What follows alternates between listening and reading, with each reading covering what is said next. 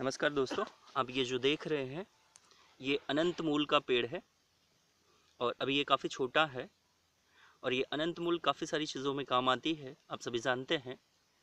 और आगे मैं विस्तृत जानकारी इसकी आपको दूँगा। जय हिंद, वंदे मातरम।